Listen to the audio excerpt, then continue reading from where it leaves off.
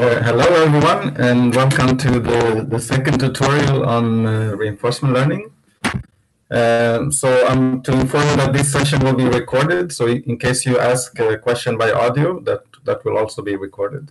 So at the end of the, the, the tutorial, you can ask questions either in the chat or by, by audio, your choice.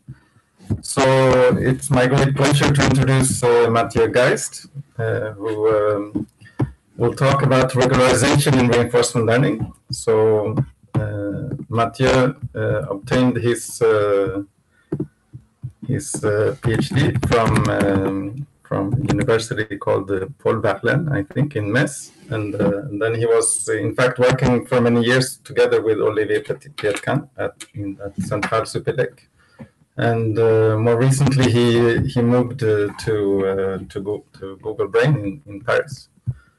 So, Mathieu, please go ahead. Thank you. I'll turn off uh, the video during the talk to for, for problem of internet connection. But uh, if uh, you want to ask questions during the talk, I should be monitoring the, the discussion panel. Uh, so feel free to ask a question during the talk. So I'll talk about regularization in, in reinforcement learning. And uh, here is an overview of the talk. I'll start with a warm-up, uh, record some uh, background about reinforcement learning and uh, approximate dynamic programming. And then we'll see how we can frame uh, regularization through the lens of uh, approximate dynamic programming, which allow covering a lot of algorithm derived from a different point of view and we'll uh, see uh, two specific cases to, to see how we can go back from the approximate uh, dynamic programming viewpoint, which is quite abstract, to practical algorithm uh, with uh, entropy regularization and Kullback regularization. Uh, then I will provide an overview of roughly all the way to do regularization, which will be quite quick thanks to the abstraction. And uh, I'll finish by saying what's the issue with with uh, Kullback-Leibler regularization and how to counter this problem. So we'll start from uh, dynamic programming and uh, go to deep reinforcement learning and then back to dynamic programming. So reinforcement learning is a closed loop control problem. You have an agent here that observes the state of the system or the state of the environment, and it will apply uh, an action. And resulting uh, to this action, the system will change its state, and the agent will be rewarded for this transition. And the goal of the agent will be to maximize its cumulative rewards. And the thing about reinforcement learning is that the control is learned from data and it's formalized with Markov decision processes. So an MDP is a set of states, a set of action. The states are the possible configuration of the system. The action are uh, what you can do to change the state of the system. Uh, the probability transition is a Markovian transition kernel that tells you in what state you will end up when applying an action in a given state. Uh, and it's Markovian because uh, it's stochastic, but uh, the probability of uh, moving to a new state depends on the state and not the path followed to reach this state. You have a reward function that depends on a real state action couple, and a discount factor that will weight uh, future outcome. So this model, um, the dynamics and uh, the criterion you want to optimize through gamma and through the reward. And the policy will be a mapping from states to a probability distribution of our action. I will consider mostly stochastic policies uh, in this talk. And the, so to know how good is a policy, we quantify the quality of a policy with a value function.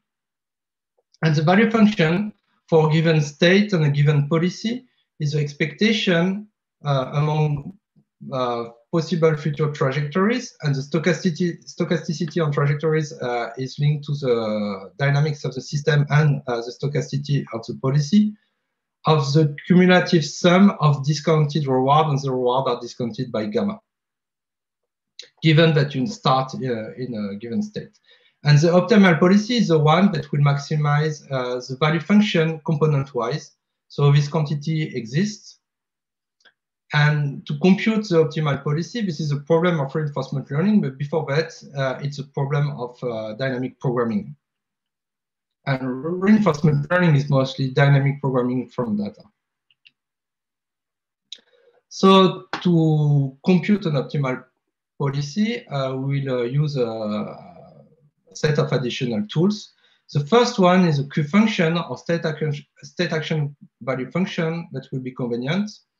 So it looks like the value function, except that uh, you add the degree of freedom for the first action to be taken. So it's the expected cumulative discounted reward when starting in state S and taking action A and following the policy pi afterward. That is uh, starting in S prime, the new state, uh, you, you follow the policy pi. And you have a kind of uh, backward uh, induction here. So the Q value is the expectation of the sum of uh, discounted reward. But if you break this sum in two terms, the first one is just the reward you get for taking action A instead S. And the second term is the expectation, but starting from time t uh, greater than 1. And you can uh, factorize this by gamma, uh, compute the probabilities. So it will be the reward plus gamma, the expectation according to the next state, knowing that you start in S, state S and you choose action A. And the expectation according to the next action, given that you follow the policy pi uh, starting from S prime, of the Q value in this next state. And here, what you have is a fixed point problem. You have Q pi in the left hand side and Q pi in the right hand side. And this is indeed the Bellman operator. And this Bellman operator associated to each uh, Q function, the reward plus gamma, the expected Q value in the next state, action couple. And Q pi will be the fixed point of this Bellman operator. So these are quite uh, usual things if you, if you know a bit of reinforcement learning. So I will focus in this talk on one specific algorithm, which is value iteration. So to define value iteration, uh, we need the notion of greediness. A policy will be greedy according to Q function.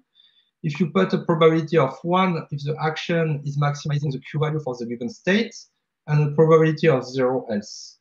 And here I assume that um, ties are broken, but this one action is maximizing. But if you have more than one action maximizing, you can put uh, arbitrary probabilities on the action maximizing.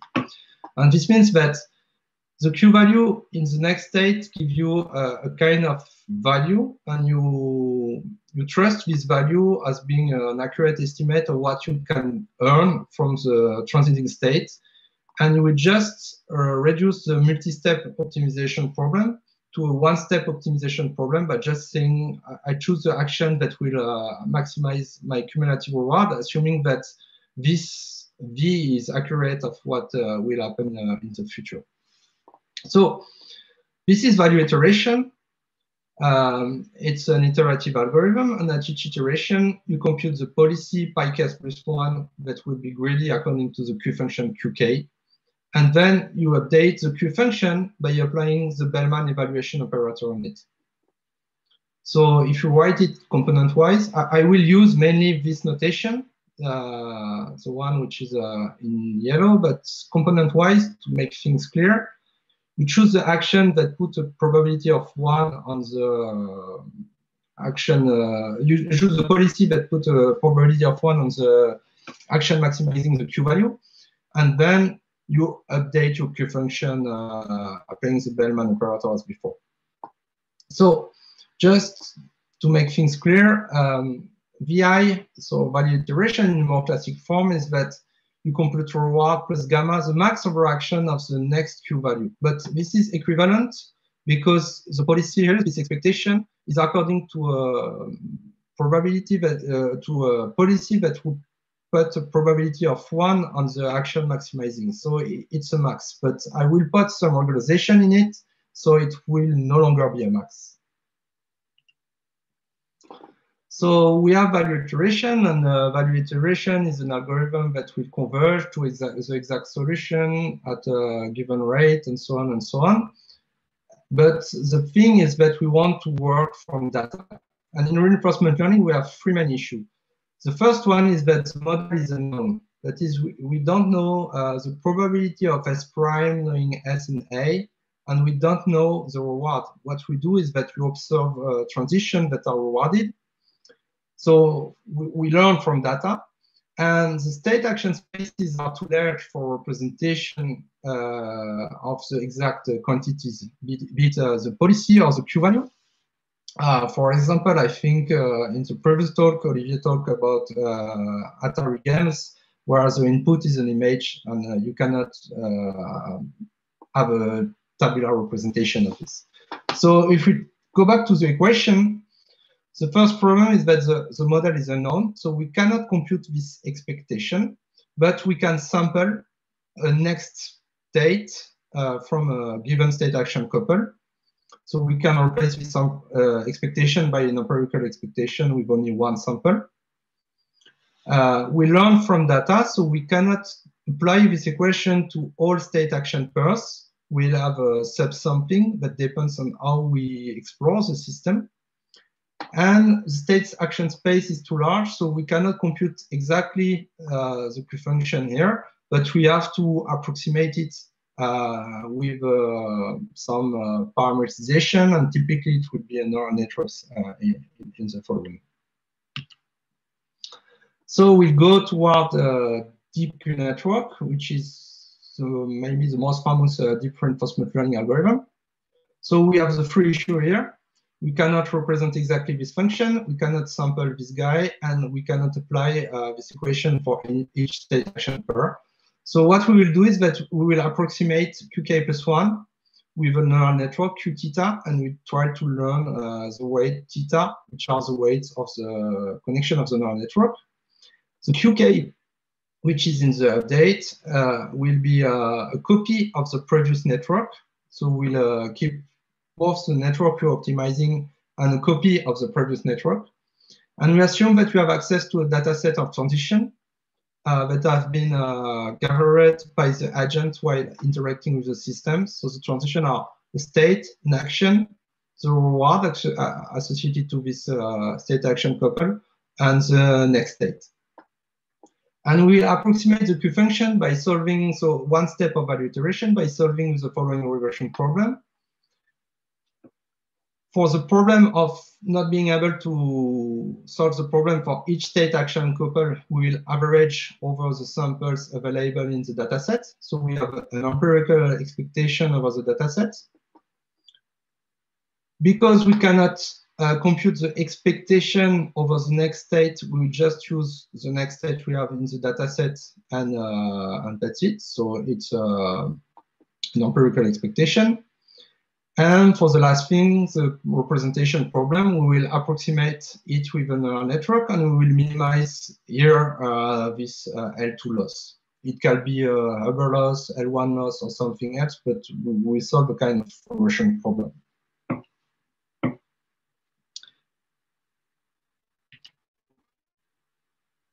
So yes, uh, I, I, just seen uh, the talk is recorded, I think, on the chat room. So there are a few questions left uh, to go toward the practical algorithm. The first one is how do you fill the data set uh, of transition?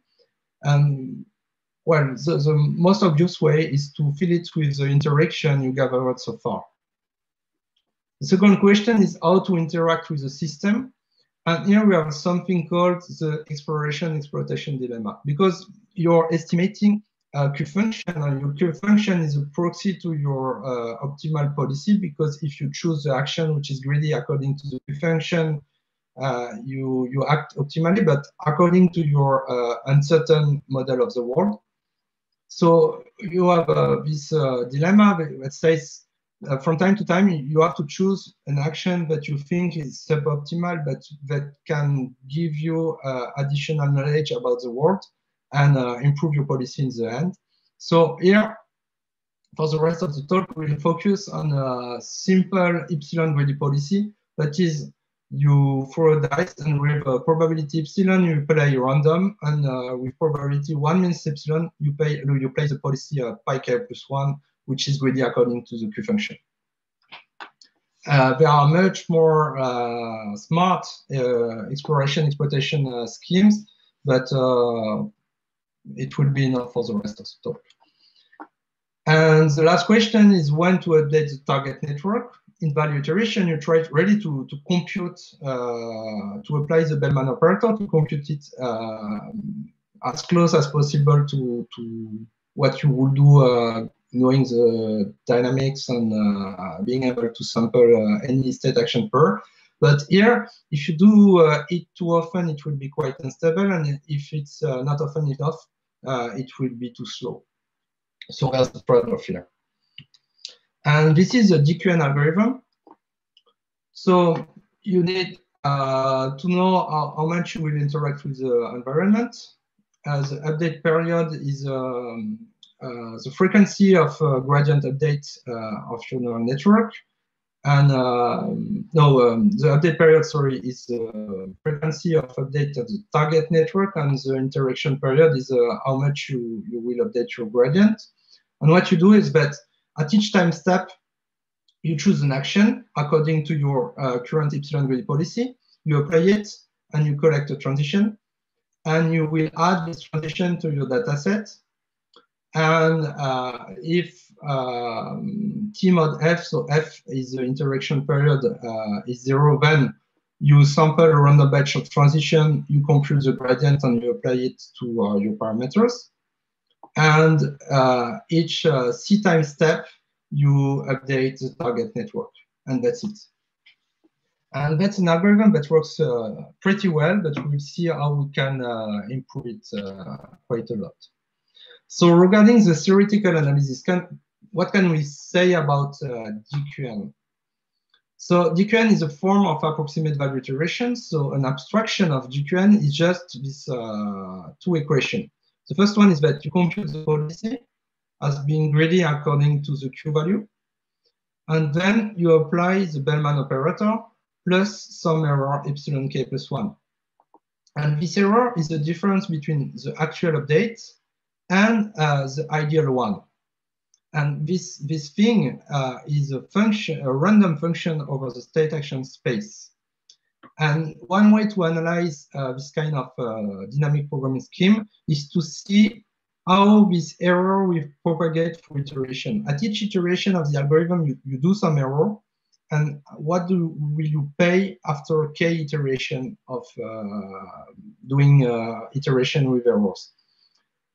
the, the thing is that this kind of analysis uh, tells you this kind of thing, but it doesn't tell you how to control this kind of error. And uh, I, won't, I will not cover it uh, during this tutorial, but uh, that's one step ahead. Because each of these error is a regression step, so you could uh, do some statistical learning theory to, to say how you control this kind of, uh, of things, at least in expectation according to some distribution. So here is the propagation of error. The quantity we will bound is the distance to optimality. So pi k is a policy computed by uh, your algorithm. Q pi k is the true function of this policy, not the qk plus one that you compute, but the true function of this policy. And Q star is the optimal policy. And you want to know how far is your policy to the optimal one and you will bound by something which is uh, made of three quantities. The second term is uh, what I call the rate of convergence, because if you have uh, epsilon equal to zero, that is, you, you do uh, no error in uh, your algorithm, this is the true rate of convergence of the algorithm. And it's in gamma power k, so it's pretty fast. But you do errors, and you have an error term time um, multiplying, multiplying factor, and uh, this is the horizon term. So the horizon is the average horizon of the MDP is 1 over 1 minus gamma because when you discount, you, you compute the sum of discounted reward. But an equivalent way of doing so is to say you interact with the system and at each time step with a probability gamma you continue and with probability 1 minus gamma you stop. And when you stop, you compute the sum of undiscounted reward. Uh, this is equivalent. And if you look at uh, the random uh, length of interaction, it's a geometric distribution of average 1 over 1 minus gamma. So that's why 1 over 1 minus gamma is horizon. And you have a square dependency to this horizon. And this is quite huge because uh, in reinforcement learning, typically we'll take gamma equal to 0 0.99. So this guy is uh, 10,000. The, the square term here is 10,000 and uh, it's, uh, it's quite big. And the, but this dependency is known to be tight for uh, approximate value iteration. And the last term is the error term. So here you have a normalized uh, weighted uh, sum of norm of errors or a moving average of the norm of the errors. And a way to think how this guy behave is that imagine that uh, the error term is zero mean and bounded. If you do, uh, let's say, a Monte Carlo estimation with something which is zero mean and bounded, you will compute the true average. But here, even if it's zero mean and bounded, so a real uh, ideal case, uh, this quantity won't go to zero. The only way for this quantity to vanish is that uh, the error term in norm goes to zero uh, fast enough, uh, depending on gamma. So um, this means that even if you do value iteration and you only have a sampling error, no representation error, nothing, just sampling error, it won't converge uh, to the optimal solution. So given uh, that we, we have seen uh, what value iteration is, we'll put some regularization uh, in it. So the first question is what is regularization? And, and the aim of this talk is to explain what is regularization in reinforcement learning. So you can see the many next slides. Another question is why doing regularization in reinforcement learning? And, and there are many ways to introduce uh, this concept. Um, for example, it arises uh, when uh, we frame reinforcement learning as a probabilistic inference uh, problem. Uh, it's sometimes introduced to favor uh, exploration. Uh, for example, you will say, I want my to optimize my policy, but I want my policy to have to have a high entropy that is to be stochastic enough to to favor exploration to do, to not be stuck in one suboptimal action. It can be used to, it can be um, motivated by a, a, kind of smoothing of the optimization landscape. And I will uh, explain this a bit uh, further. It can be introduced as a kind of trust region for the policy update um, by uh, doing a parallel with a gradient descent. And I, I will explain this further too. It uh, provides uh, some nice theoretical guarantees that I will show. And uh, first reason is that uh, it works very well empirically. So here the focus will be on the viewpoint of regularized approximate dynamic programming. Uh, it's maybe not the more usual one, but it's very convenient because it's kind of unifying abstraction that allows uh, first for theoretical analysis, but also allows for recovering uh, many existing uh, algorithms, if not all. So I will use some notation uh, for the rest because they are convenient. So we have a policy, and a policy is a mapping from state to uh, delta A is the simplex of actions, so to distribution of our action.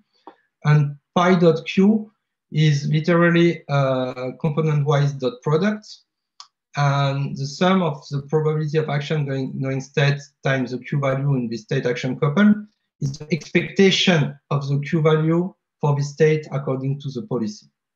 And PV is simply uh, the transition kernel applied to a value function. So with this notation, we can just write the Bellman operator, T pi q, as reward plus gamma, the transition kernel applied to pi dot q, or the expectation of the q value according to the policy. The policy, which is greedy according to the Q value, can be written as uh, the argmax over uh, stochastic policy of pi dot Q. And I will use a lot entropy and Kullback-Leibler divergence in the following. So the entropy will be minus pi dot log pi, or the expectation of log pi according to pi itself, component-wise. And the Kullback-Leibler divergence is pi dot uh, log pi over pi 2, or log pi minus log pi 2.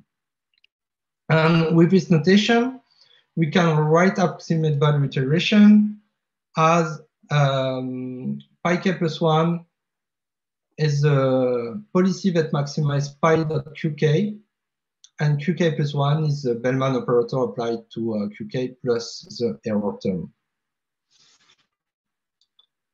So I have a question here. Is probabilistic inference equal to Bayesian inference?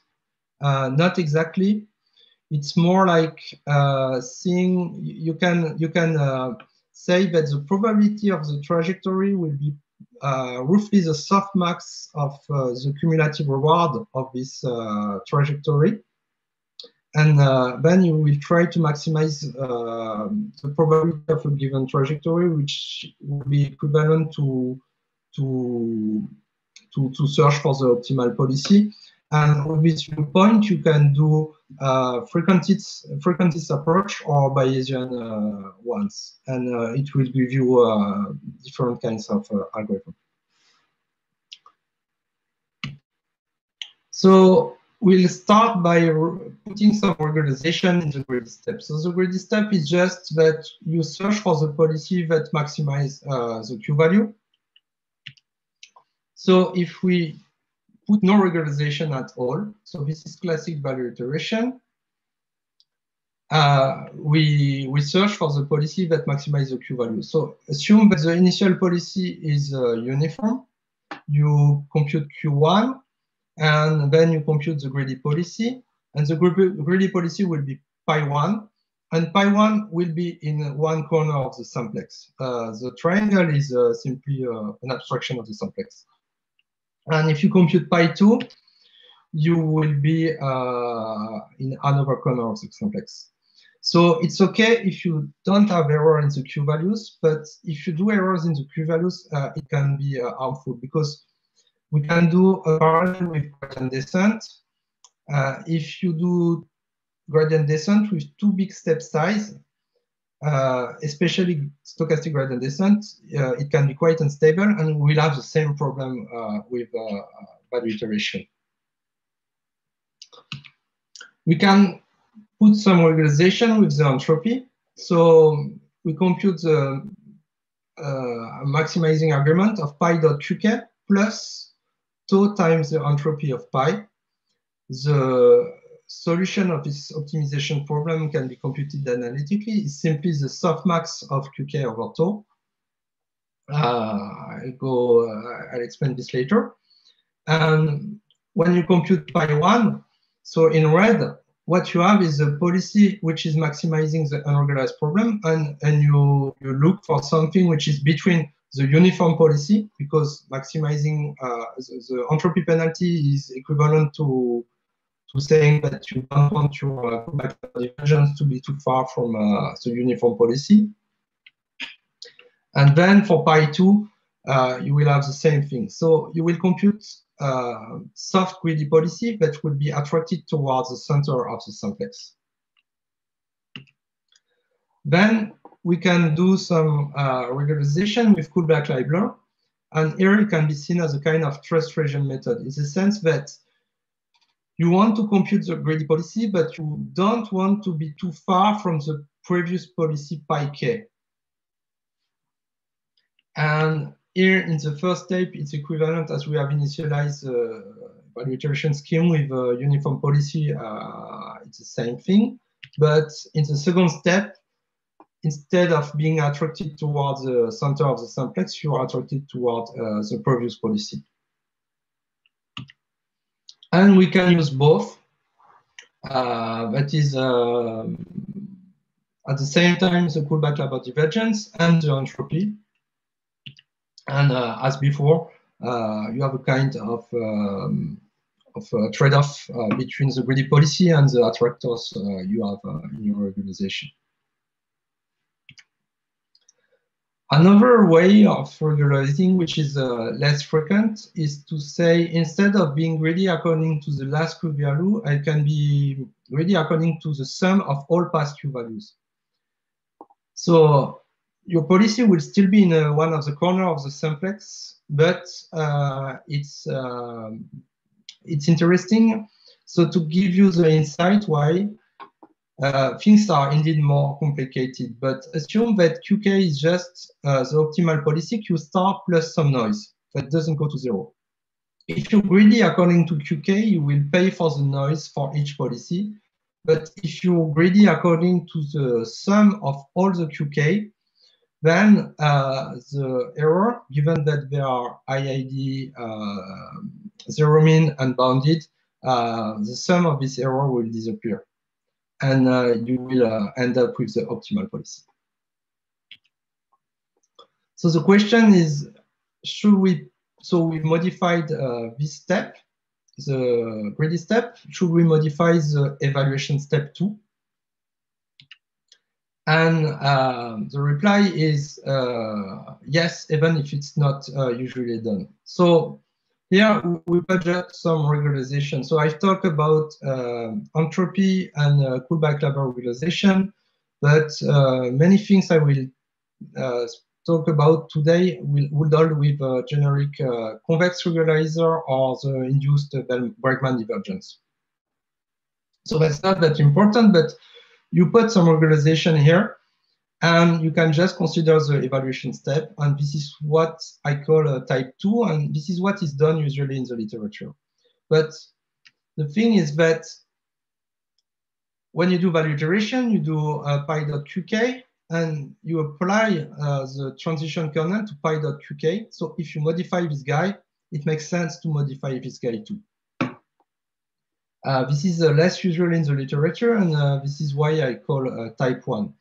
And the important thing, uh, we'll see it through the case studies, is that uh, it comes from for free.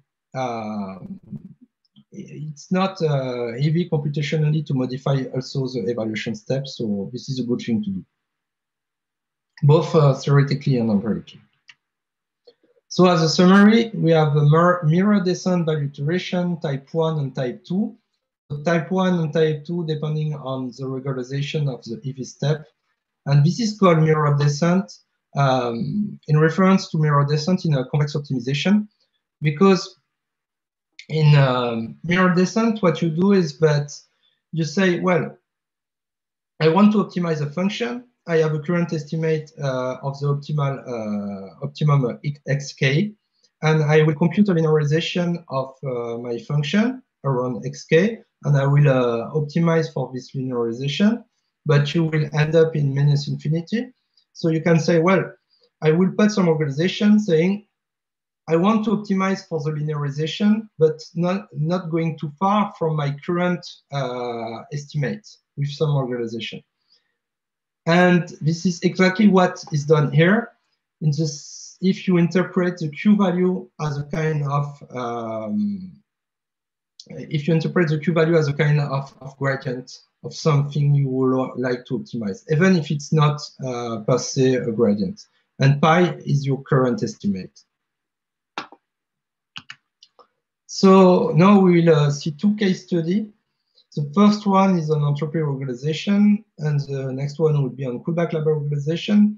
And we'll see how we can uh, go back from the, the abstract uh, regularized dynamic programming scheme to a kind of uh, DQN-like algorithm.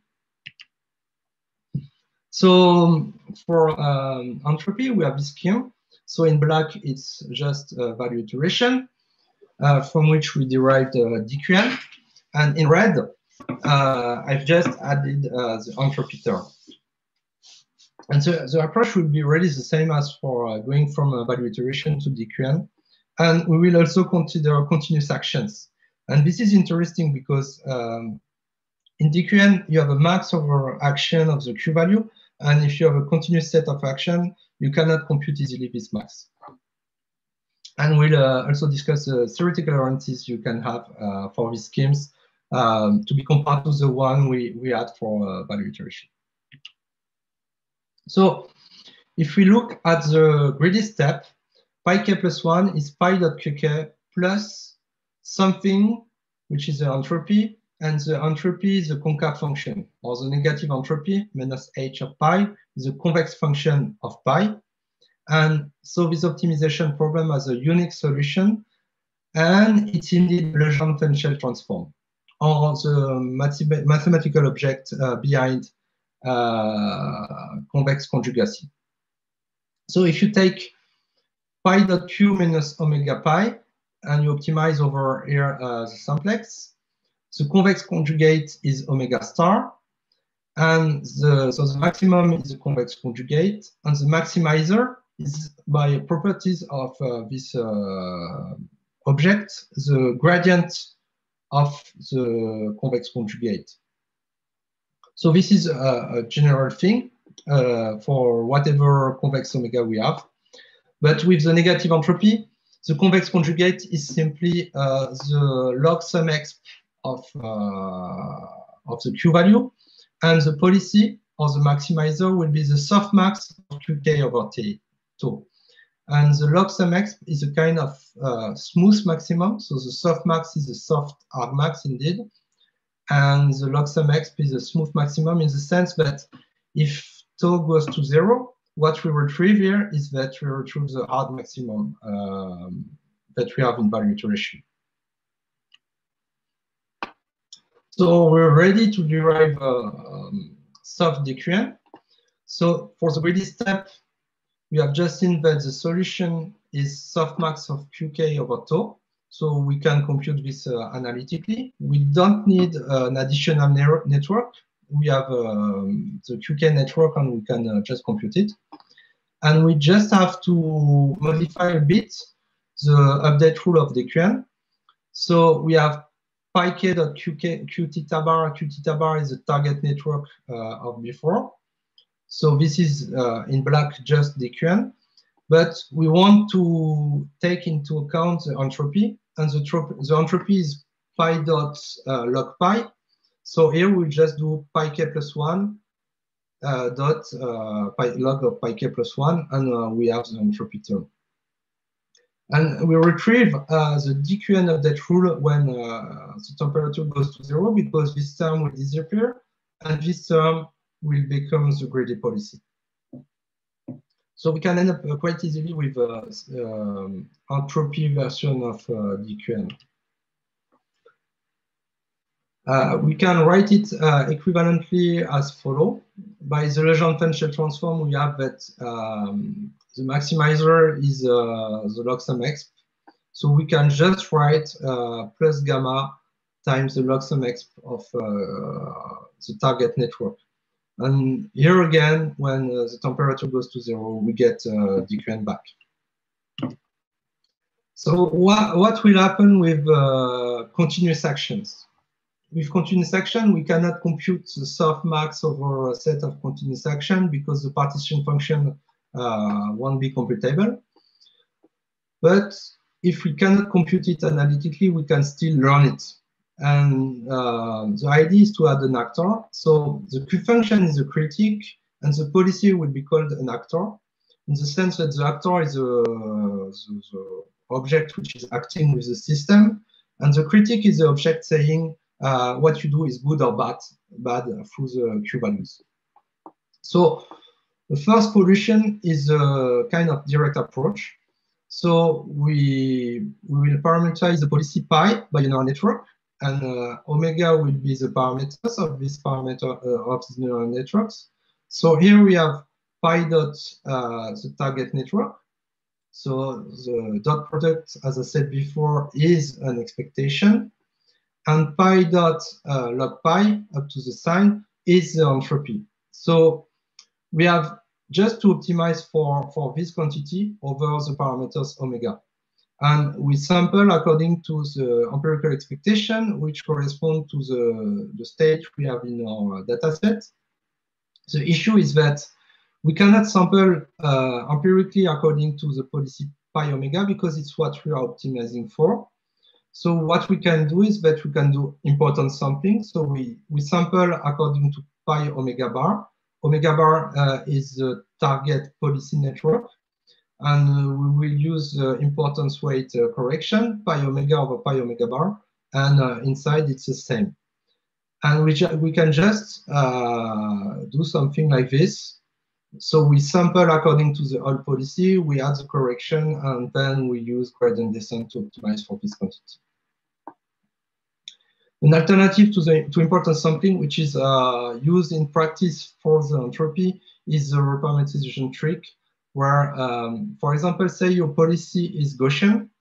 So instead of saying that you will parameterize um, uh, that uh, this guy is Gaussian, you will write it as a, a function of um, zero mean and um, zero mean uh, Gaussian noise, which allow um, avoiding this kind of uh, importance sampling and reduce the variance of the two. But I, I, won't go further regarding this, uh, this aspect. The summary uh, solution is um, a kind of indirect approach, but it's indeed um, equivalent. The thing is that we know analytically that the greedy policy is softmax over, over, uh, over Q. So we can learn the neural network by omega as minimizing the Kullback-Leibler divergence between uh, the output of the neural network and what will be the analytical solution, except that we cannot compute the partition function z theta bar here because uh, it involves uh, integration. But um, if you drew the, the calculus, um, this this uh, partition function will act as a constant in the optimization process because you will have uh, um, the expectation of uh, pi omega time log of something uh, that is constant. So it uh, according to the parameters of the policy. So you end up with uh, this equation, which is the same as the previous one up to a normalizing factor. So we can estimate a greedy policy. And we have to change the evaluation step. But uh, the evaluation step is as before.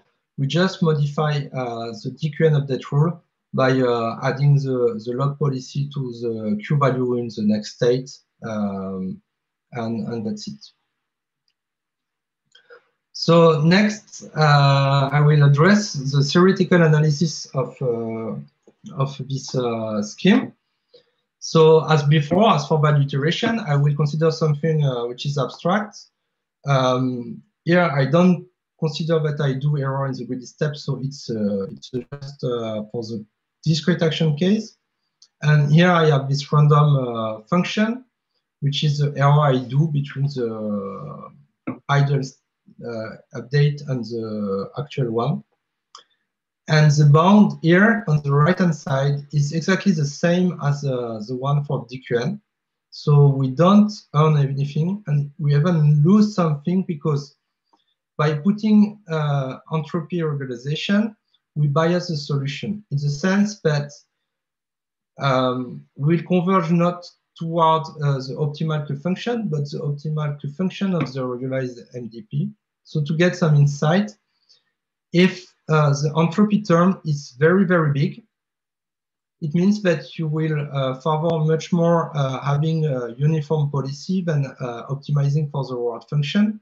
And the solution will be almost the, the uniform policy. So you, you add some bias uh, by putting some uh, entropy regularization, and the bound is not better. So regarding the propagation of error, uh, there's no there's no advantage uh, for doing this kind of regularization, but there are other arguments. One argument is exploration, and exploration is not covered at all by this kind of analysis. And exploration is because you say, I want to maximize my reward, but I want also to have uh, a policy with a high enough entropy. So you will be stochastic and then you can try things. Um, there are arguments regarding the optimization landscape. And uh, a way to understand this is that if uh, you optimize without regularization, you don't have the unicity of a solution. And uh, the operator that associates to QK, uh, the greedy policy, uh, is not smooth. But whenever you add um, a regularization, you have unicity of this optimization process. And the policy, the greedy policy, the soft greedy policy as a function of QK will be a Lipschitz function. And because you, you earn this kind of smoothness, it helps regarding uh, the optimization on scale. So you have smoothness that can, uh, this kind of smoothness can also be uh, used to provide a better convergence bound uh, in some case. So this was for the entropy case. And now I will uh, deal with the Kullback-Leibler regularization case, uh, which is quite similar, except for the theoretical results. So instead of putting as an entropy, we put a Kullback-Leibler divergence term between the policy and the previous one. And we also modify the evaluation step accordingly. So as before, we uh, have the same approach as uh, for going from uh, value iteration to DQN, and we'll also consider uh, continuous action and see what the theoretical guarantees can be. So if we look at the greedy step, as before, this is uh, the Kullback-Leibler divergence is a convex function of a pi. So we have a Legendre-Fenchel transform, and we know uh, it's an analytical solution, and the analytical solution is a softmax as before, but weighted by the previous policy pi k. So pi k plus 1 is proportional to pi k times exponential qk over lambda. But if you use an induction argument, it will pi k minus 1 times exponential qk times exponential qk minus 1, so the, exponential of the sum. So in the end, you will have uh, something which is uh, softmax over the scaled sum of past q values. And we've seen before that regularization can, can be done through uh, the summation of past Q values. And this is exactly what's happening here. And uh, the problem is that this quantity could be computed analytically with a linear parameterization because you could compute the sum of past Q values by just summing the parameter vector, but not with deep neural network uh, not without remembering all past network, and um, it's usually too cumbersome. So as I said before, it uh, links uh, Kullback-Leibler with uh, regularization by Q values, and it's also reminiscent of uh, follow the regularized leader in uh, online optimization or in uh, convex optimization. So to get a practical algorithm, can, what can we do? So this is a greedy step and the thing is that even with discrete actions, we cannot learn the policy uh, exactly because uh, this will require remembering all past Q values or all past policies, which is uh, equivalent. So we can do as before. We just, uh, instead of just removing the log policy term of uh, what we're optimizing for, we also uh, add the target policy term, which uh, is a kind of encore. So the approach is exactly the same as before. Or we could say, well, we know that if I go back, what we would like to compute is the sum of past Q values. So when you do uh, deep reinforcement learning, uh, you don't really have uh, iteration because you're quite optimistic when you, optim you, you change the target network. So doing a, a true average of past not, past network is not uh, reasonable. But what you can do is that you can compute a moving average of a past network. So we have a h omega, and uh, the target, the regression target for this network would be 1 minus alpha times the target h plus alpha times uh, the current q. So we replace the true summation of uh, past q values by a moving average of past q values. And for the evaluation step, as before, we just modify uh, the evaluation step by adding the Kullback-Leibler term, uh, which is just a, a difference of uh, log policies. And here, regarding the theoretical analysis, we have something which is pretty interesting. So on the right, you have uh, the bound for value iteration that I've shown before. And on the left, you have the bond for uh, value iteration, but with Kullback-Leibler regularization. So the first thing is that, contrary to the case of entropy regularization, we converge to, if we have convergence, we will converge to the optimal function. Uh, the scheme doesn't bias the solution asymptotically. Then we can compare uh, the, the rate of convergence. So for value iteration, we have a rate of convergence of gamma power k. And here we have a rate of convergence of 1 over k. So with regularization, it's lower. But by adding the Kullback-Leibler regularization, you explicitly slow down the convergence. So uh, it's something that was to be uh, expected. So yeah, I will. Um, someone is asking on the chat if uh, PPO or TRPO are instance of KL-based one. Absolutely, and uh, I will uh, do the overview later. But indeed, um, it's not exactly this because it's a constraint rather than a regularization, but uh, it's heavily linked to what I'm saying uh, now. So the rate of convergence is worse. But now if we look at the horizon term, so it's one, it's the squared horizon 1 over 1 minus gamma for uh, value iteration. And we only have a linear dependency to the horizon uh, for uh, value iteration with KL regularization. And this is a strong improvement because uh, this horizon term is uh, easily equal to uh, 100. And it's known that for value iteration, without regularization, this dependency is tight.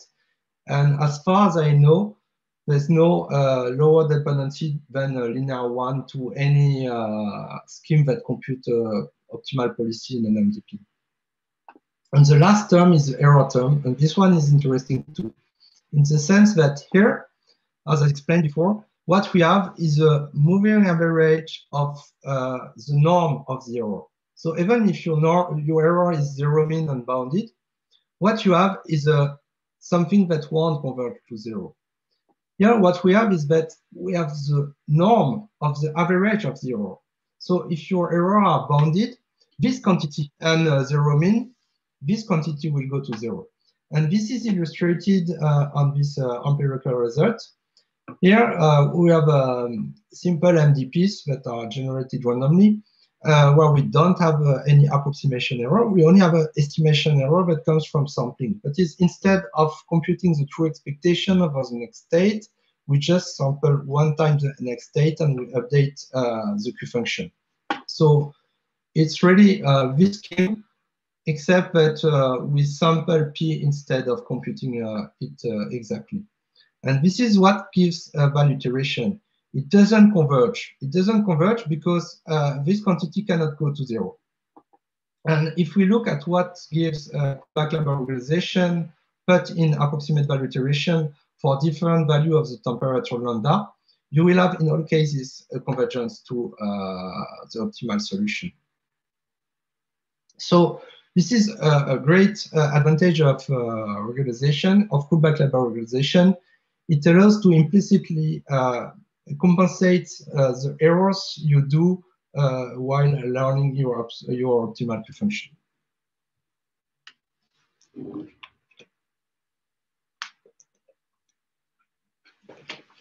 So now I do a, a quick uh, overview of uh, the different way of regularization. We have seen um, two case study with entropy alone, with Kullback-Leibler alone, and both case studies were type 1.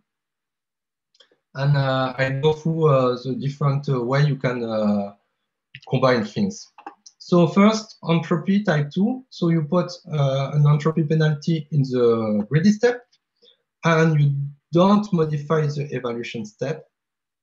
So here, as I explained before, it's equivalent to computing the, the softmax over Q value. So this uh, scheme is equivalent to applying uh, to replacing the hard maximum by a soft maximum applied to QK. This is known as softmax DQN. And the thing is that even if you don't do errors, uh, this scheme might not be convergent. Even if epsilon is zero every time, uh, you can have multiple fixed points. Uh, which means that uh, putting regularization in the evaluation step is important and it's not costly at all. And the mellowmax policy um, is um, So I won't explain what it is, but uh, it's indeed a, a, complicated way to, to just uh, add a log policy to, to the next Q value. So if you do type one, we add the entropy uh, pair in the evaluation step, and we still have uh, it in the ready step. So soft actor critic, uh, which is a well-known um, actor critic uh, in reinforcement learning, soft Q learning uh, can be derived from uh, this DP scheme. And indeed, we have reviewed them before. And the analysis is what I shown before you have the same bound, uh, uh, except that uh, you will converge to something uh, different. Now with uh, Kullback-Leibler divergence type 1, uh, it's what I presented before. So dynamic program, dynamic policy programming uh, is an old, uh, algorithm, um, well, 10 years old one that uh, was not derived from uh, this viewpoint, but it can be derived from uh, this dynamic programming scheme. And it's also a generalization of something called speedy learning, which was also not derived at all from a KL point of view. So the equivalence here is um, that, as I said before, you can compute this analytically, and pi k plus 1 will be proportional to pi k uh, times the exponential of qk. And so it will be uh, proportional to, it will be a softmax over the sum of past q values. So you can write alternatively this uh, dynamic programming scheme, where you say that the evaluation step is the same. So the way you compute qk is the same as before. Um, you have an additional HK and HK is just computing the average of the Q values, of the past Q values. And your policy is just a softmax over the scaled uh, H function. And uh, being softmax is equivalent to adding uh, entropy penalty. And if you take this scheme, and if you take the limit as lambda going to zero, you get a speedy learning. And the analysis is what I shown before. Uh, basically, uh, thanks to this, you earn convergence, which is not the case for value iteration if this quantity goes to zero. You can do Kullback-Leibler divergence type 2, that is, you remove uh, the, um, the regularization in the evaluation step and trust region policy optimization is a variation of this scheme and even more uh, maximum a posteriori policy optimization, which is a little bit less known, but that works very well too. So for because there was a question on TRPO, the difference is that for TRPO, instead of saying I want the policy to be uh, greedy, uh, soft greedy according to this scheme, instead of saying minus lambda the Kullback-Leibler divergence, you will say I want to optimize for this quantity uh, under the constraint that the Kullback-Leibler divergence between the consecutive policy uh, is smaller than a given uh, epsilon, say.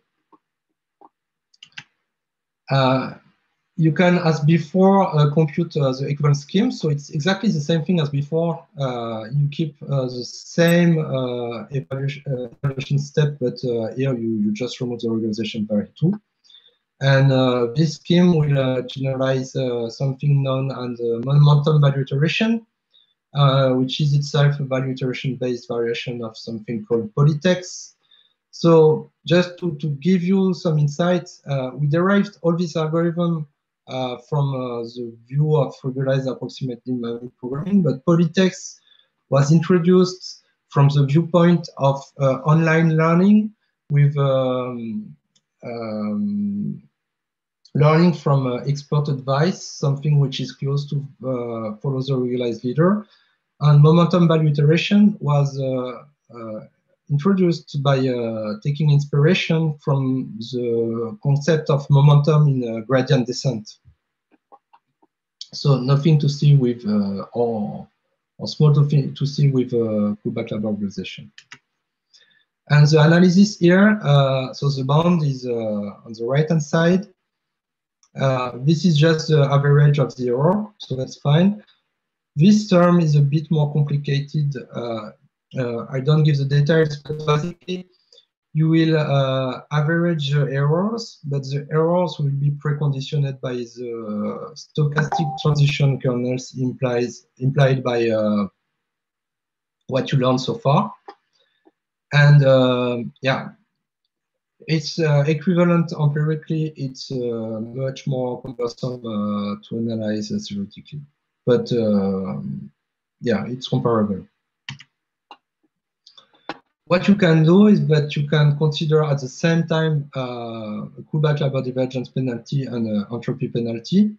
And something called conservative value iteration can be derived from this scheme.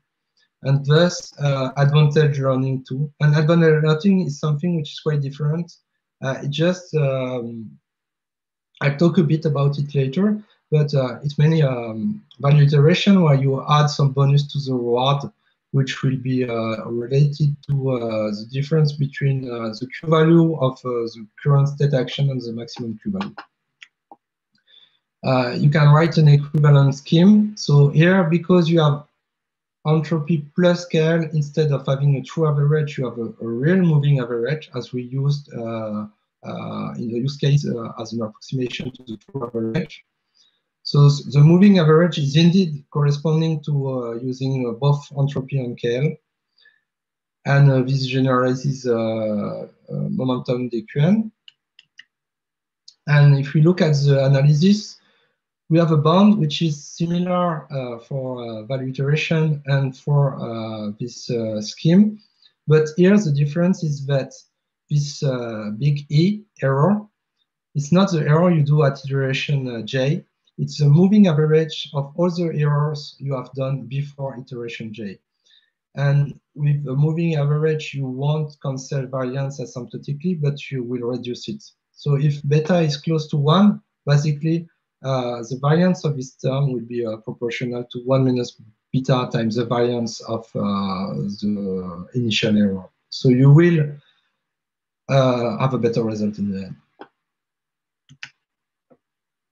And what we can do also is uh, removing the evaluation step, uh, the, the regularization in the evaluation step.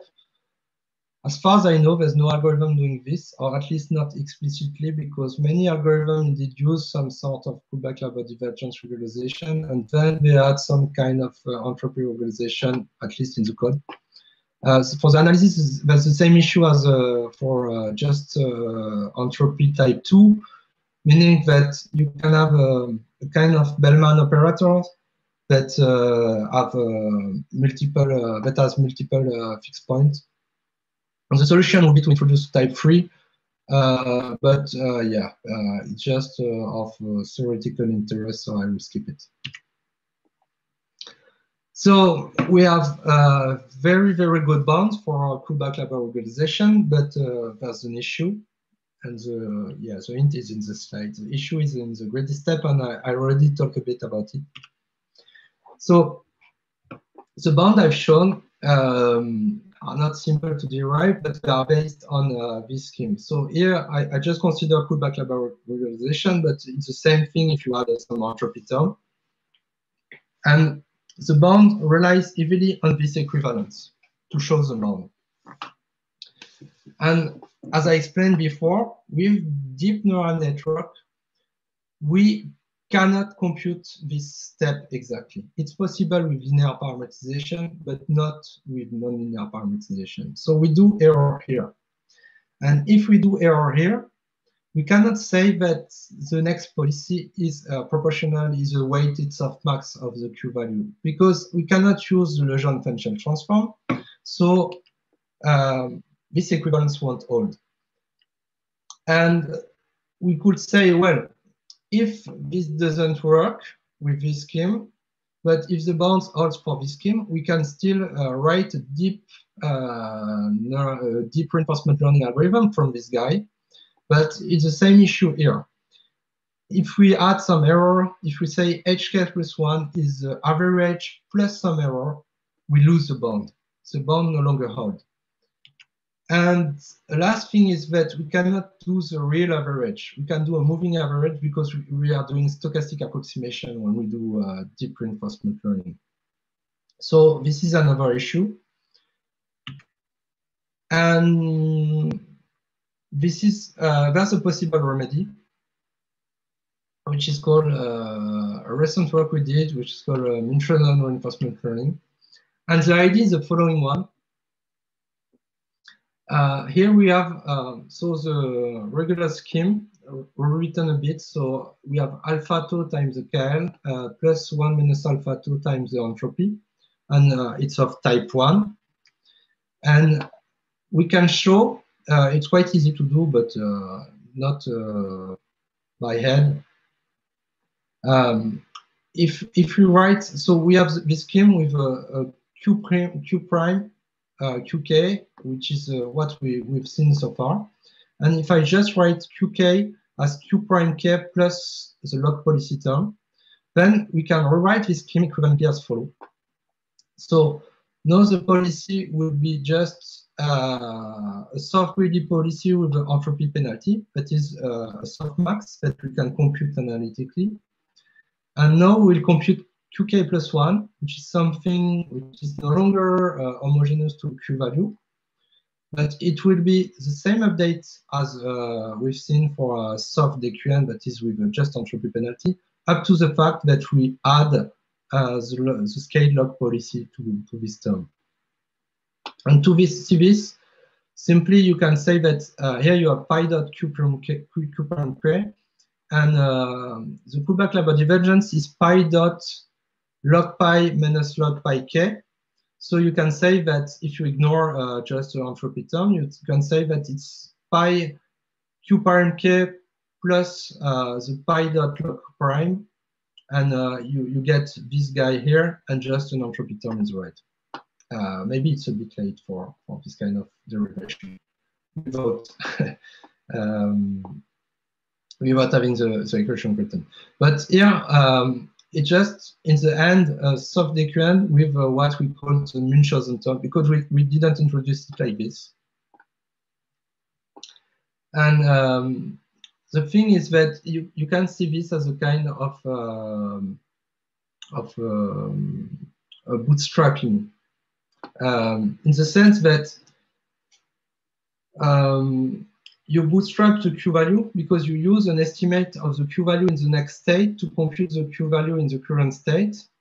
And here we additionally bootstrap the policy uh, by adding it to the reward. And the, the, the idea is that if, if you had pi star here, the log policy of the optimal policy would be uh, zero for optimal uh, action and minus infinity for suboptimal one. So just adding this to the reward, you know exactly what the optimal policy is. And instead of using the optimal policy, we just uh, use the current estimate of the policy. And as a bonus, uh, nice thing is that it also increases the action gap. So the action gap, this quantity here, is the difference between uh, the maximum Q value and the Q value of uh, the overaction and assume that your optimal um, for a given state, the optimal Q value is 10, and uh, the second optimal, uh, the second, uh, the value of the second action is very close. You can uh, confound these two actions because of the estimation error. And so it's interesting to have a, a large action gap because it's with a large action gap, it's easier to distinguish between the optimal action and the suboptimal one. And with this scheme, what we do is that we multiply uh, the action gap by, uh, by 1 over 1 minus alpha. And this all true with, uh, with uh, alpha converging to 1 in the sense that here, if you put alpha to 1, and if you have no error in the evaluation step, this guy will converge to something which will be uh, equal to the optimal value function for the optimal action and minus infinity for suboptimal actions. So here is a case study just to see how it works, and it's pretty simple. So we'll modify DQN with the Munchausen term to get Munchausen DQN. So this is, um, yeah, I just write the, the, the, regression target of DQN because DQN in the end is just a succession, a sequence of uh, regression steps. So here we have uh, the regression target of DQN. And we need a stochastic policy. So to add the Munchausen term, so we just add uh, some entropy regularization. So it's something what we explained before. you, you modify the evaluation step and the greedy step give you a, a stochastic policy, which is the softmax over the target network. And then you add um, the, the log policy uh, of the log target policy. Um, but the log target policy, the policy is implicit because it's computed according to the, the Q network, the target Q network. And it's not the same as um, uh, putting entropy regularization because here the sign uh, changes and uh, it's not for the same state. Uh, here it's for the transiting state and here for the current state. But in the end, if you modify uh, even implementation of DQN, it's really a matter of not even of lines, but uh, a matter of characters. So it's very uh, very teeny correction to the code. And if we look at the empirical result, uh, these are the result, uh, an aggregation of the result over uh, 60 Atari games of the arcade learning environment. So yeah, the arcade learning environment, I, I think everyone knows it. Uh, it's a collection of 60 games.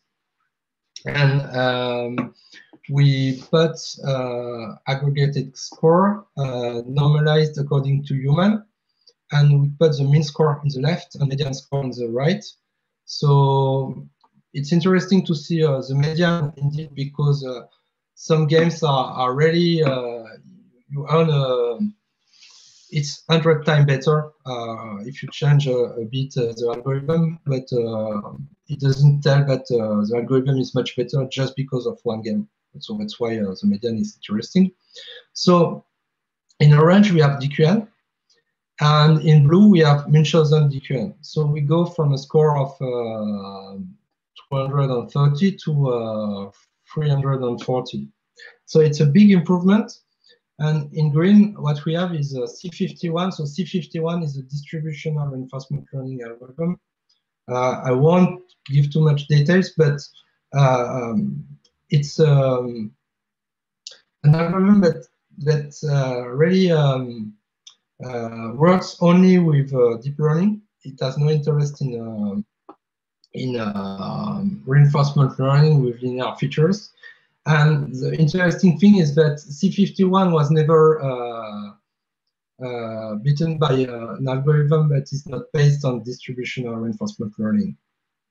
And here we just modified really uh, a teeny part of, of DQN just by adding the log policy, but it makes sense because we are implicitly doing Kullback regularization that comes with, uh, with strong performance bound. And in Median, we have uh, roughly the same thing, uh, we earn a lot. Uh, we almost double the score compared to, to DQN. And oh, here you can see a per game improvement. So for the, the, best games, we have a time 2000 the score. Uh, for some game, uh, it's worse. So the game where it's worse, uh, we have Elevator Action, Montezuma Revenge, Venture, Private, these are hard exploration game. Uh, this hard exploration game are a game where um, reward is really, really sparse. For example, in Montezuma, you have to uh, jump over uh, the void and then to get a key and then to open a door. And you have uh, some uh, points when you open the door only, or when you get the key, you, you have already some points. But uh, to get there by chance is very um, difficult.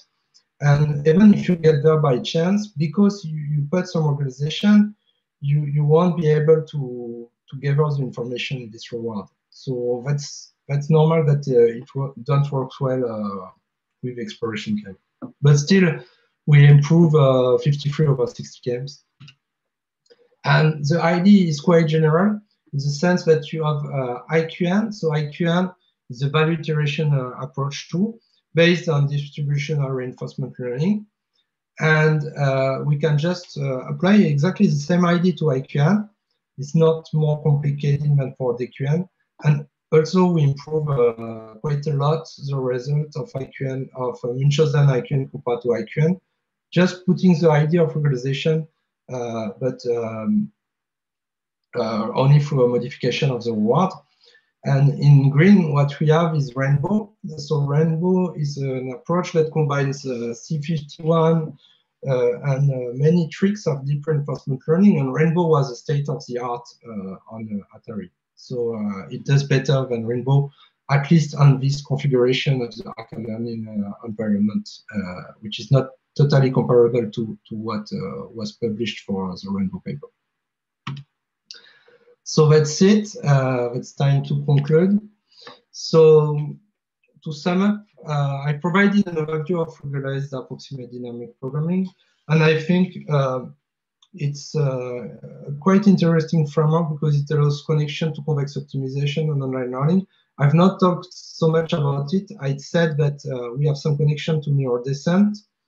The equivalent scheme where we are summing uh, the Q values uh, have connection to dual averaging, and there are connection to uh, follow the regularized leader, even if um, um, these connections are, are, not cosmetic, but um, we cannot uh, just apply the proof of uh, follow the regularized leader to analyze the DP scheme. It's a bit more complicated than this. Um, the good thing also is that it, uh, it allows recovering many um, variation of regularized uh, reinforcement learning agents and show that many of them are indeed uh, very close in the end, even if they have been derived from a pretty different uh, point of view. Uh, it allows for a theoretical analysis and even a quite strong one, uh, especially when you, you, you do a Kullback-Leibler regularization. Uh, many of the bounds I've shown, not all of them, but many of them, uh, are true uh, if we change uh, KL by, say, um, a Bregman divergence, but not the nice bound where you have a compensation of errors. And uh, by understanding what's happening and how to, to change it, uh, it also brings agents uh, like Munchausen reinforcement learning, where we can um, take advantage of the nice theoretical analysis and uh, make it work for deep reinforcement learning. And the nice thing about Munchausen reinforcement learning is that it has strictly no interest if you don't have a neural network. With a linear parameterization, uh, this algorithm is not more interesting than just doing regularization. And there are many other possible outcomes for regularization. So the first one, uh, which is not written but should be, is that uh, what we, we have done so far is that we have penalized for the policy and or deviation between consecutive policies. And the policy is a measure of uh, conditional distribution of action given state. And what would be really interesting is to punish uh, the divergence or some quantity of the joint distribution of state action couple. You don't only want to know uh, what action will take in one state, but you also want to know uh, in what state you will go uh, by following a policy. But it's much more complicated. Uh, there are possible outcomes in imitation learning. So the previous tutorial was uh, quite a lot about imitation learning, and there's a lot of regularization uh, hidden in imitation learning. And many of the um, current approach like generative adversarial neural network for imitation learning uh, are based on uh, minimizing uh, divergence between distribution linked to the policies. Uh, it has uh, possible outcomes in uh, inverse reinforcement learning too, because um, in inverse reinforcement learning, um, you want to retrieve a reward function such that the policy you observe is optimal according to this reward function. This is an ill-posed problem in the sense that um, um, for a given reward function, you may have uh, more than one optimal policy, the, the greediness operator is not uh, smooth. And thanks to regularization, the greediness becomes smooth and the inverse reinforcement learning problem is uh, still a bit ill-posed, but less than uh, without regularization. It is very interesting for quite a topic today, which is offline reinforcement learning. In offline reinforcement learning, you want to learn not from interaction with the system, but from a log of interaction and it's much more harder. For example, if you put a DQN agent and you let it learn on, say, Pong, it will learn to solve the game of Pong. But if you uh, gather a lot of transition, even good transition, like you let the DQN learn uh, over a while, you gather all data, and then you let DQN learn offline only from uh, from the data set and not uh, by interacting with the environment. And in the end, it won't work or by chance uh, because um, when the agent interacts with the environment, you have a kind of autocorrection uh, in the sense that it will uh, um, um, it will estimate badly some Q values, uh, so it will take actions that are not good, and then it will um, it will be corrected by the outcome of the environment. And the, the thing with offline reinforcement learning is that you can use regularization to say, I don't want my policy to go too far from what has uh, been used to generate the data set, and then uh, have uh, some additional safety. And it can be, it could be useful for other things like multi-agent reinforcement learning or game theory, but uh, I think I will stop there and take uh, some question. Thank you for your attention. So I see some uh, some question.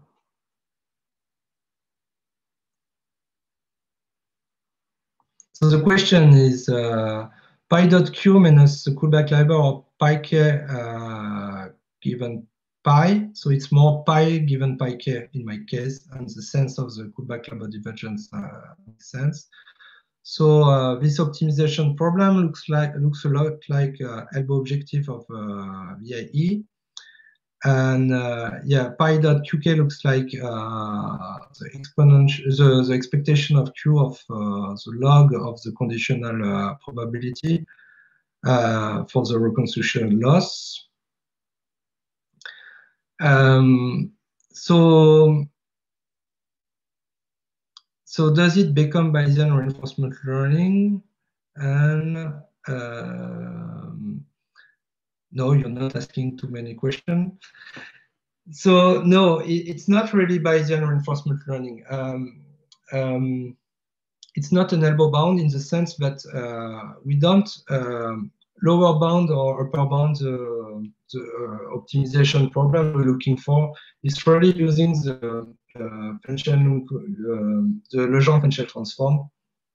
And I think the closer connection is indeed to mirror descent because when, when you see a just gradient descent of a given function, so you want to optimize for a function f of x, and uh, you can say, well, I have a given point xk, and I have my function f, and I will uh, compute a linearization uh, of my function using a Taylor expansion. So the linearization will be uh, the gradient of f times x minus xk. And you will optimize for this. And you will say, I don't want to go too far from the current estimate. So you, you optimize for the gradient of t, f times uh, x minus xk plus the norm of, uh, say, x minus xk. And if you take the L2 norm, as a regularization, then you will end up with a gradient descent. If you take a Kullback-Leibler regularization uh, between x and xk, you will end up with a roughly a multiplicative weight update. And this is really in this sense, it's a kind of uh, optimization. Another way to see this is that if you do a value iteration, you compute the greedy policy and you can have a, a big move, but you do errors, so you don't want to move too far. And it's, for example, how has been introduced uh, trust region policy optimization. So one of uh, the algorithm uh, covered by uh, this uh, this talk. And uh, you, say, I, I, want to, to improve my policy, but uh, while uh, remaining close to the current one. So it's more related to this uh, optimization viewpoint than to Bayesian reinforcement learning, I would say.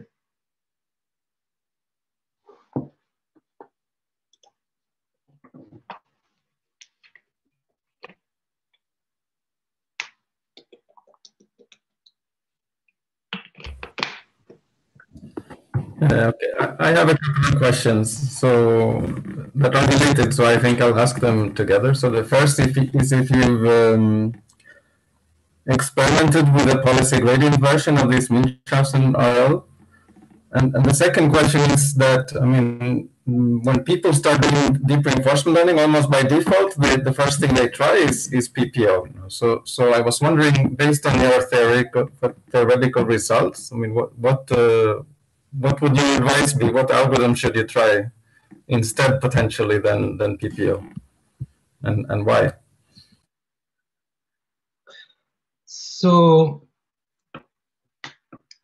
uh, so for the first question, um, I have uh, presented things with the viewpoint of uh, dynamic policy uh, of um, of dynamic programming, and policy policy gradient is not really dynamic programming. You can see this as a kind of uh, value iteration, uh, policy iteration, in the sense that you compute the true Q value of the given policy, and then uh, you improve the policy by doing gradient step. But it's not really policy. Uh, it, it's not. It's not really value iteration. Um, no. Um, so so what I want to say is that uh, it's not direct to frame this as a policy gradient approach, but it, it can be used as a kind of uh, policy gradient-like approach. Now regarding PPO, uh, PPO is not exactly covered by this algorithm, by, by, by this analysis, because uh, in PPO, um, the rationale is to say, uh, the way it was introduced is to say that uh, the, um, the constraint, the, the constraint of the Kullback-Leibler divergence is a bit difficult to, to compute because uh, they had to use a conjugate gradient to uh, estimate the Fisher information matrix and so on. And uh, so they tried to put some regularization instead of constraint. It was not working well, so they just put a kind of clipping of the value and it works well in practice. Uh, now, uh, PPO is used uh, mostly in continuous action setting, or at least quite often in a continuous action setting. Um, the bound shown and Munchausen reinforcement learning, it really makes sense for discrete action. We've not tried so far too much on uh, continuous action, but uh, it's not sure that it will work as well because the good thing is really that we avoid to do the error in the greedy step, and that's why we enjoy the, the theoretical guarantee I, have shown. But um, for continuous action, uh, it's less clear. And uh, there's also a question of sample efficiency of uh, PPO because it's on policy uh, in the sense that you will uh, collect trajectories and then update your policy and then collect trajectories and uh, you will you won't reuse the old trajectories you've collected so far or not to old one. While here uh, it's uh, based on value iteration so it's mostly uh, off policy and more sample efficient generally speaking. So there are pros and cons for, for both approaches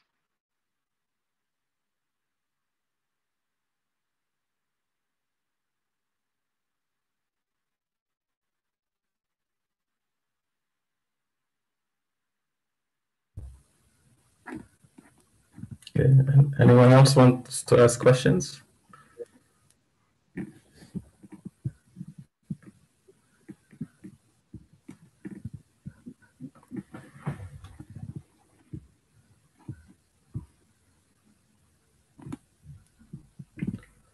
Okay, so it looks like there are no more questions. So, so thank you very much, uh, Mathieu, for your tutorial. It's very interesting. And um, so we'll call the end to the first day of tutorials, at least for for for this session. And uh, the tutorials will, will continue tomorrow with uh, with three more tutorials.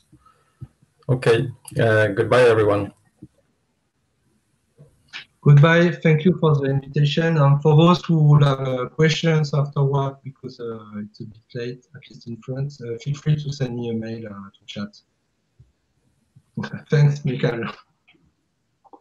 Mikari's saying was uh, it was uh, amazing. I agree. bye bye.